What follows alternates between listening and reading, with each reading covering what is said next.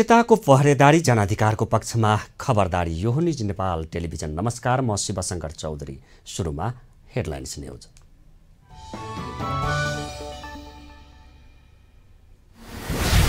राष्ट्रिय स्वतन्त्र पार्टीकी सांसद इन्द्रा राणा प्रतिनिधि सभाको उपसभामुखमा निर्वाचित राणाको पक्षमा खस्यो एक सय छियासठी मत।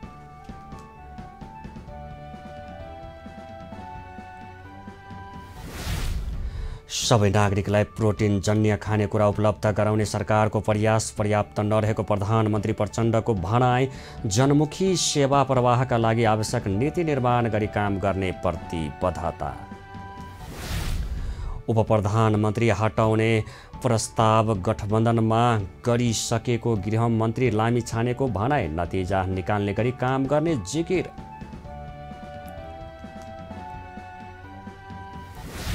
अर्थतन्त्रलाई सुधार गर्ने अभियानमा सरकारलाई सरकारवाला सबै निकायको साथ आवश्यक रहेको अर्थमन्त्री पौडेलको तर्क मन्त्रालयले खर्च कटौती गर्न थाल्यो।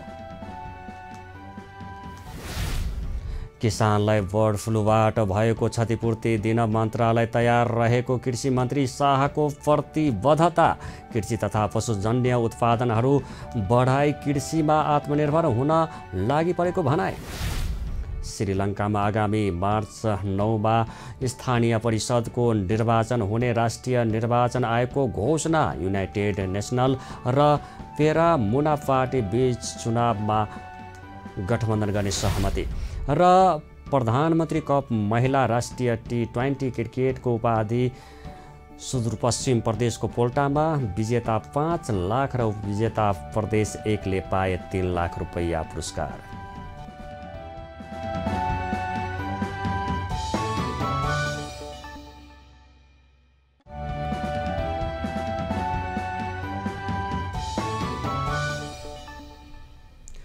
अब न्युज विस्तारमा सुरु गरौँ। उपसभामुख को प्रसङ्गबाट राष्ट्रिय स्वतन्त्र पार्टीकी सांसद इन्द्रा राणा मगर प्रतिनिधि सभाको उपसभामुख हुनुभएको छ।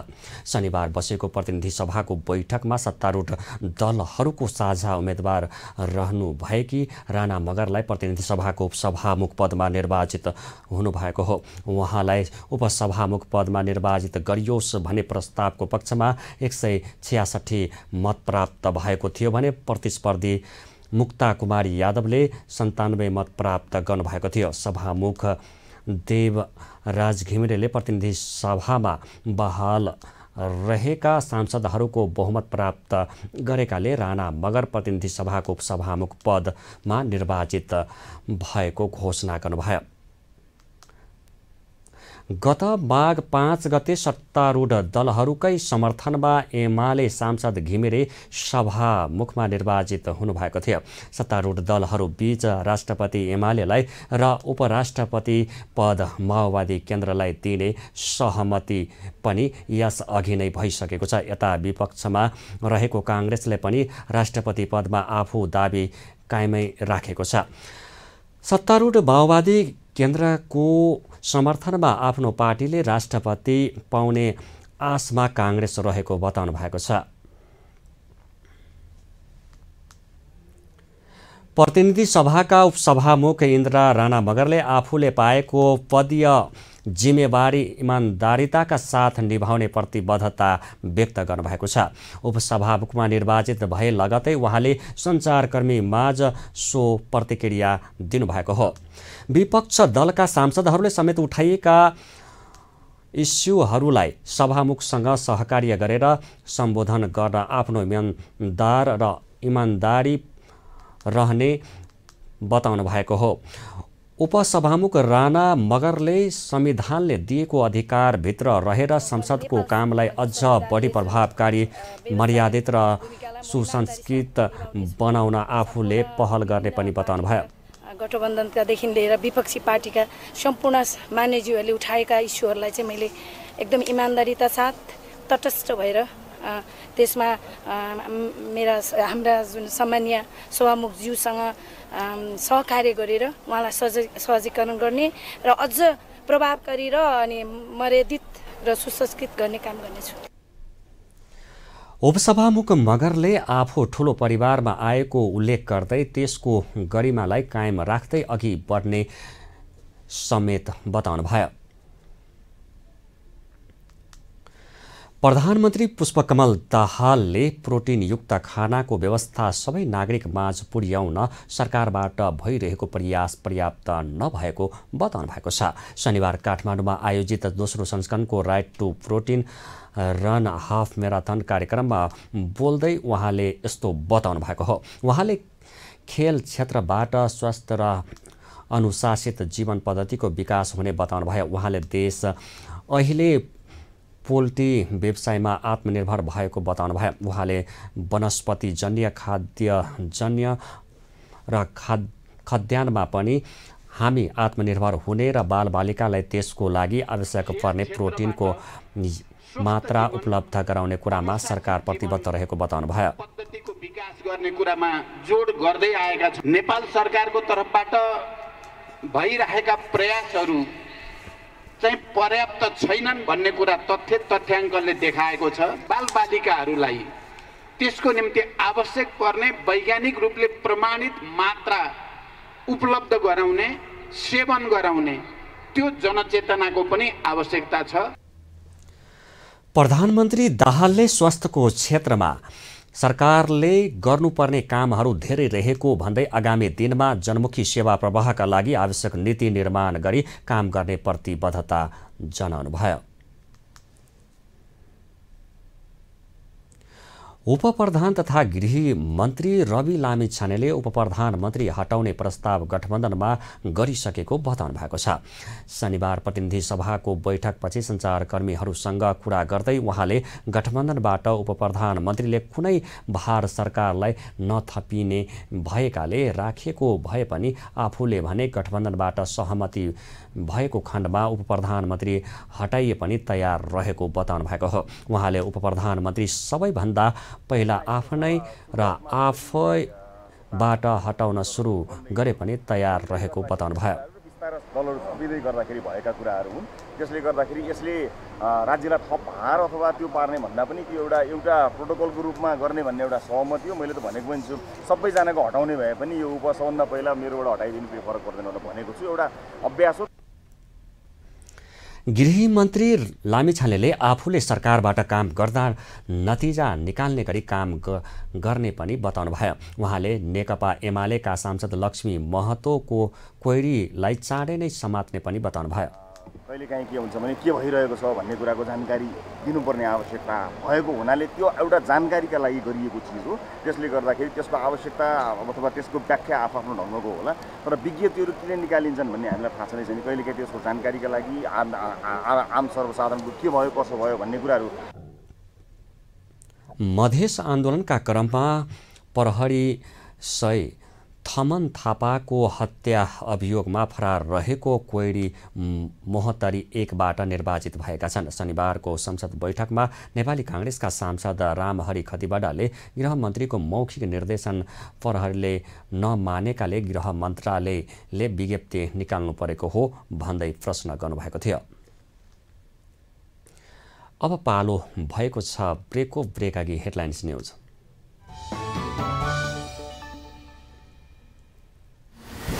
राष्ट्रिय स्वतन्त्र पार्टीकी सांसद इन्द्रा राणा प्रतिनिधि सभाको उपसभामुखमा निर्वाचित। राणाको पक्षमा खस्यो एक सय छ्यासठी मत।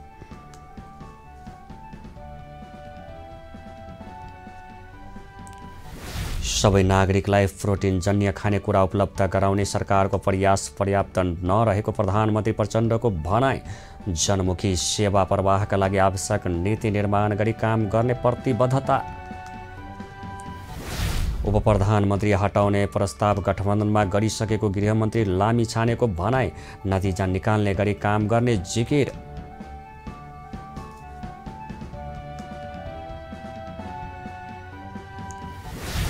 अर्थतन्त्रलाई सुधार गर्ने अभियानमा सरकारलाई सरकारवाला सबै निकायको साथ आवश्यक रहेको अर्थमन्त्री पौडेलको तर्क मन्त्रालयले खर्च कटौती गर्न थाल्यो।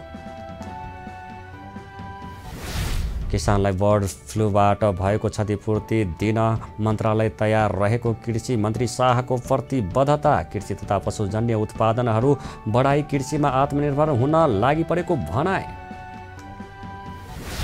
श्रीलङ्कामा आगामी मार्च नौमा स्थानीय परिषदको निर्वाचन हुने राष्ट्रिय निर्वाचन आयोगको घोषणा युनाइटेड नेसनल र पेरा मुना पार्टी बीच चुनावका लागि गठबन्धन गर्ने सहमति। र प्रधानमन्त्री कप महिला राष्ट्रिय टी ट्वेन्टी क्रिकेटको उपाधि सुदूरपश्चिम प्रदेशको पोल्टामा विजेता पाँच लाख र विजेता प्रदेश एकले पाए तिन लाख रुपियाँ पुरस्कार।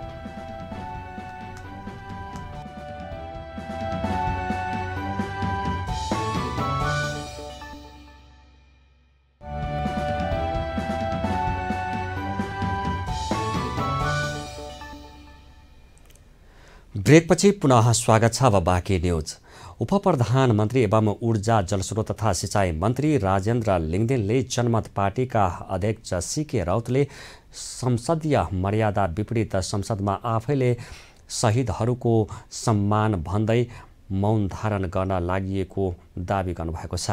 मधेसका शहीदहरूप्रति सरकार र संसदले सम्मान नगरेको भन्दै गत माघ पाँच गते बसेको प्रतिनिधि सभा बैठकमा जनमत पार्टीका अध्यक्ष राउतले मौन धारण गर्न लगाउनु भएको थियो। त्यो काम संसदीय मर्यादा र नियम विपरीत भएकाले प्रधानमन्त्री पुष्पकमल दाहाल सहित आफूहरूले मौन धारण गर्ने काममा सहभागी नभएको पनि उप प्रधानमन्त्री लिङदेनले स्पष्ट पार्नुभयो। उहाँले विशेष परिस्थितिमा सभामुखले गरेको रुलिङलाई मात्रै संसदमा मान्नुपर्ने परिपाटी रहेको पनि उल्लेख गर्नुभयो। राष्ट्रिय प्रजातन्त्र पार्टीका अध्यक्ष समेत रहनुभएका लिङ्गदेनले आफूहरूले सो क्रममा शहीदहरूलाई अनादर गरेको भनेर भ्रम नपर्न पनि सबैलाई आह्वान गर्नुभयो। कि हामीले मधेस आन्दोलनमा शहादत प्राप्त गर्ने शहीदहरूका प्रति हाम्रो चाहिँ सम्मान छैन भन्ने अर्थमा प्रचार गरिराखिएको छ। तर संसदको एउटा मर्यादा हुन्छ एउटा नियम हुन्छ र रुलिङ सभामुखको चल्छ। यति कुरा पनि दोस्रो कार्यकाल संसदमा आएको मैले बुझिनँ भने म बाहना चाहिँ कुनै बाहना अथवा चाहिँ भावनामा बगेँ भने त्यसले संसदीय परम्परामा राम्रो छाप छोड्दैन। त्यो विषयप्रति अनादर गरेको होइन। मलाई लाग्छ प्रधानमन्त्रीले पनि गर्नुभएको होइन। यो गलत प्रचार जानु हुँदैन। हामीले संसदीय मर्यादा भङ्ग गर्नु हुँदैन भन्ने कुरालाई ध्यानमा राखेर हामी नउठेको कुरा भन्ने कुरा। यो संसदले पनि बुझोस् र बाहिरी समाजले पनि बुझोस्। उप प्रधानमन्त्री लिङ्गदेनले सो घटनालाई लिएर प्रधानमन्त्रीले नै शहीदहरूप्रति अनादर गरेको भनेर गलत कुरा बाहिर लैजान नपाउने जिकिर समेत गर्नुभयो।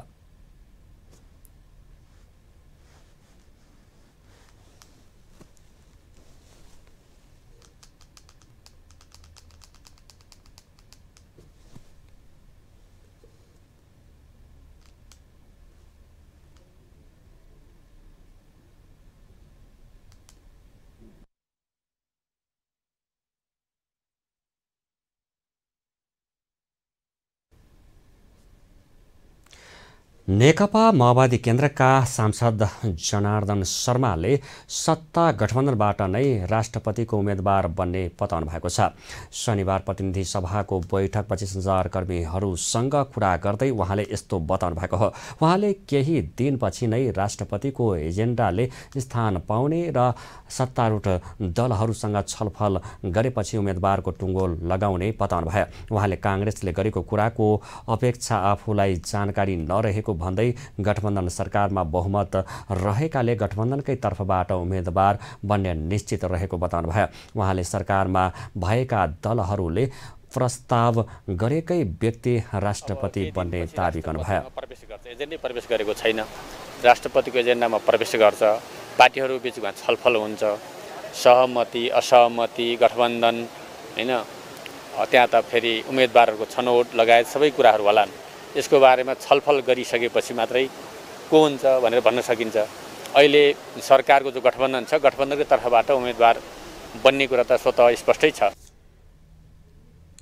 सांसद शर्माले गठबन्धन फुटाउने र जोड्ने समय अब सकिसकेको भन्दै अहिले बनेको गठबन्धन निरन्तर अघि बढ्ने बताउनु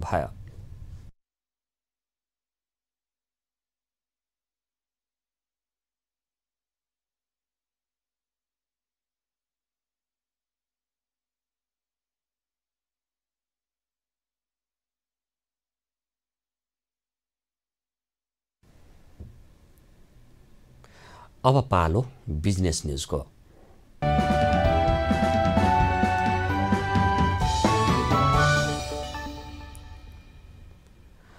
उपप्रधान तथा अर्थमन्त्री विष्णुप्रसाद पौडेलले अर्थतन्त्रलाई सुधार गर्ने अभियानमा सरकारलाई सरकारवाला सबै निकायको साथ आवश्यक रहेको बताउनु भएको छ। शनिबार कृषि विकास बैङ्कको छप्पन्नौ वार्षिक उत्सव कार्यक्रममा बोल्दै अर्थमन्त्री पौडेलले आर्थिक दृष्टिकोणले खडा भएको चुनौतीको सामना गर्दै मुलुकको आर्थिक अवस्था र सामर्थ्यलाई सुधार गर्ने अभियानमा सबैको साथ आवश्यक रहेको बताउनु भएको हो। उहाँले अर्थ मन्त्रालय मुलुकको चुनौतीपूर्ण अर्थतन्त्र सुधारको लागि सुशासन आर्थिक मितव्ययता खर्च कटौती सुविधा कटौती गर्ने अवस्थामा रहेको बताउनु भयो। अहिले पनि चौध पन्ध्र प्रतिशतको हाराहारीमा हामी आइपुगेका छौँ जबकि हामी बजेटको मध्यावधि समीक्षा गर्ने बिन्दुमा आइसक्यौँ। यस्तो छ आजको मुलुकको आर्थिक अवस्था।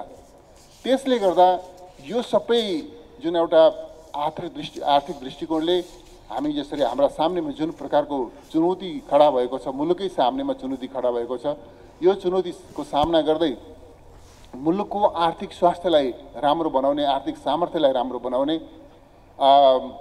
त्यो अभियानमा सबैको साथ सरकारलाई चाहिएको छ। उहाँले अर्थतन्त्रमा देखिएको चुनौतीलाई सुधार गर्न कृषि विकास बैङ्कको व्यवस्थापनको समेत साथ पाउने विश्वास व्यक्त गर्नुभयो।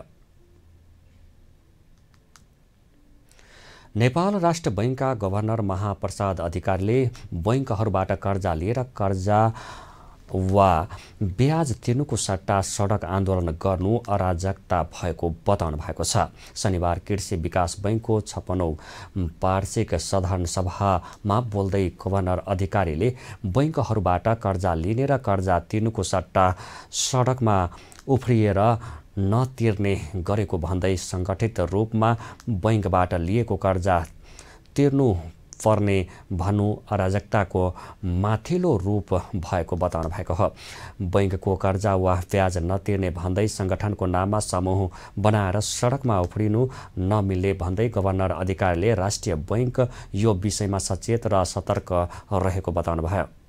तिर्नुको सट्टा चाहिँ सडकमा उफ्रिएर नतिर्ने सङ्गठन गर्ने र सङ्गठित रूपमा चाहिँ ऋण तिर्नु पर्दैन भन्ने खालका कुराहरू पनि बजारमा आउन थालिया छन्। जुन कुरा एउटा अराजकताको पनि चाहिँ अत्यन्तै चाहिँ सिभियर रूप हो। त्यसकारण यस्ता अराजक कुराहरूलाई कोही कसैले पनि प्रश्रय दिनु हुँदैन। र ती ती ती कुराहरू त भोलि त्यो फाइनेन्सियल क्राइमभित्र पर्ने कुराहरू त्यस्तै गभर्नर अधिकारीले उपभोक्ताहरूको आवश्यकता पूर्ति गर्नुपर्ने चुनौती रहेको भन्दै डिम्याट मेरो सेयरमा मात्रै सीमित नरहन बैङ्कहरूलाई समेत बताउनु भयो मैत्री नबनिकन उपाय छैन। हामीले डिम्याट अकाउन्ट मेरो सेयर यतिमा सीमित रहेर हुँदैन। हामी यी प्रत्येक प्रविधिसँग गाँसिएका आधुनिक प्रविधिसँग गाँसिएका कुराहरूमा अध्यावधिक हुन जरुरी छ। हाम्रो सिस्टम त्यही अनुसार अपडेट गर्न जरुरी छ जसले गर्दा यहाँले आफ्ना कस्टमरलाई रिटेन गर्न सक्नुहुनेछ आफ्नो ब्याङ्कलाई चाहिँ प्रतिस्पर्धी बनाउन सक्नुहुनेछ। गभर्नर अधिकारीले कृषि विकास बैङ्क कृषि वित्तीय क्षेत्रमा नयाँ ढङ्गले चानुपर्ने र यसका लागि नेतृत्व लिन सुझाव दिनुभयो। यसै गरी नेपाल बैङ्कर सङ्घका अध्यक्ष तथा एनएमबी बैङ्कका प्रमुख कार्यकारी अधिकृत सुनिल केसीले बैङ्कको कर्जाको ब्याज दर नतिर्ने भन्दै समूह बनाएर बैङ्कहरूलाई दबाव आउन थालेको बताउनु भएको छ।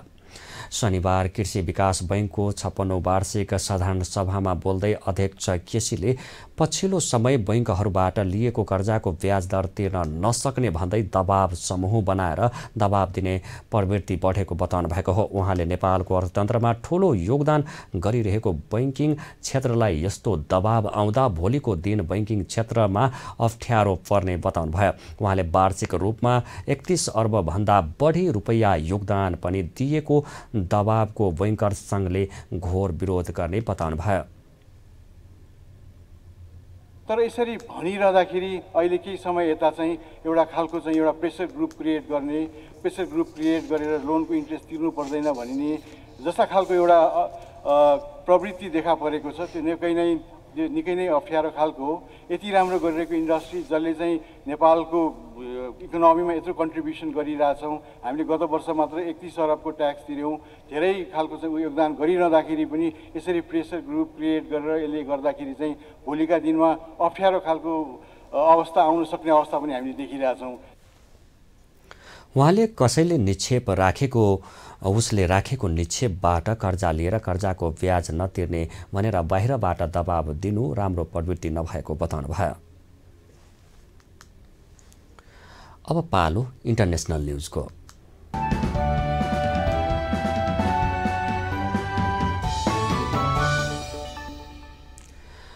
श्रीलङ्काको राष्ट्रिय निर्वाचन आयोगले आगामी मार्च नौमा स्थानीय परिषदको निर्वाचन हुने घोषणा गरेको छ। आयोगले श्रीलङ्काका सबै जिल्लाका लागि नयाँ नगर प्रमुख र स्थानीय परिषद सदस्य चयनका लागि निर्वाचनको मिति तय गरेको हो। आयोगका अनुसार प्रमुख सबै राजनीतिक दलले शनिबार दिउँसो तोकिएको समय अवधि सकिनै लाग्दासम्म प्रतिस्पर्धाका लागि मनोनयन पत्र बुझाएका छन्। राष्ट्रपति रानिल विक्रमा सिंहको युनाइटेड नेसनल पार्टी र पूर्व प्रधानमन्त्री महेन्द्र राजापक्षको श्रीलङ्का पोदुजाना पो पेरा मुनाले मार्चमा हुने चुनावमा भाग लिनका लागि यसपटक गठबन्धन गर्न सहमत भएका छन्। उनीहरूको मुख्य लडाई साजिद प्रेस दासाको नेतृत्वमा रहेको विपक्षी समागी जन बल बेग याससँग हुनेछ। चुनावका लागि केही साना राजनीतिक दलले पनि गठबन्धन बनाएका छन्। अब पालो स्पोर्ट्स न्युजको।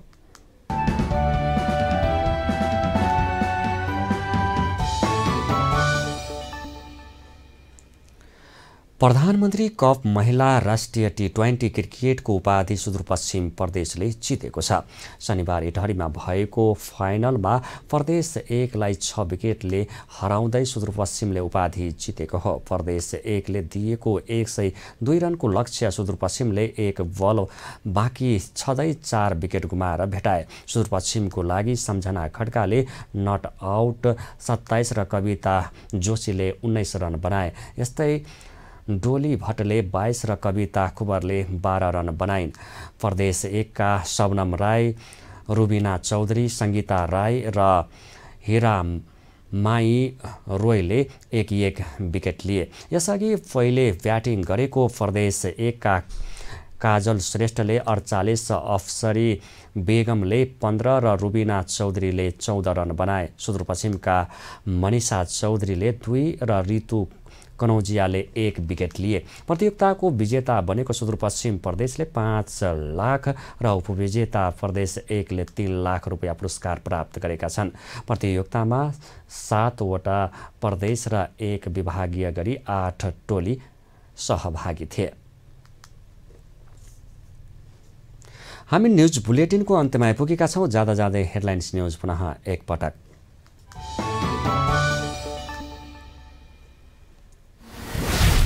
राष्ट्रिय स्वतन्त्र पार्टीकी सांसद इन्द्रा राणा प्रतिनिधि सभाको उपसभामुखमा निर्वाचित राणाको पक्षमा खस्यो एक सय छियासठी मत।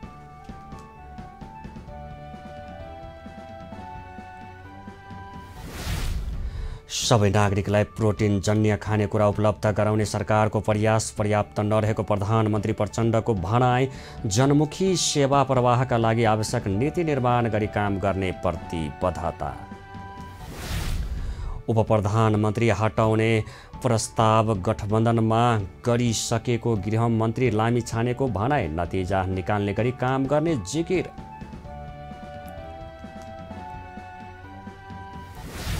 अर्थतन्त्रलाई सुधार गर्ने अभियानमा सरकारलाई सरकारवाला सबै निकायको साथ आवश्यक रहेको अर्थमन्त्री पौडेलको तर्क।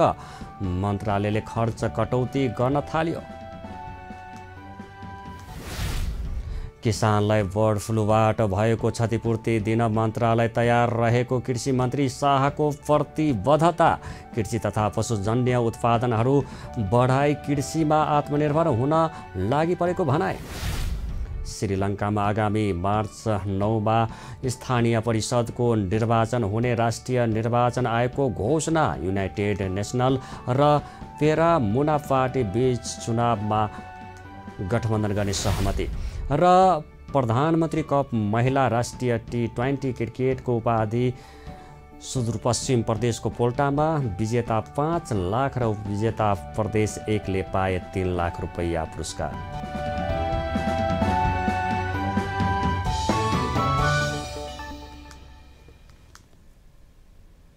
अहिलेलाई न्युज नेपालको न्युज बुलेटिन यति नै। हाम्रो न्युज र कार्यक्रमहरू युट्युब र फेसबुकमा पनि प्रत्यक्ष हेर्न सक्नुहुनेछ। राष्ट्रियताको पहरेदारी जनाधिकारको पक्षमा खबरदारी हेर्दै रहनुहोला। News Nepal television. नमस्कार।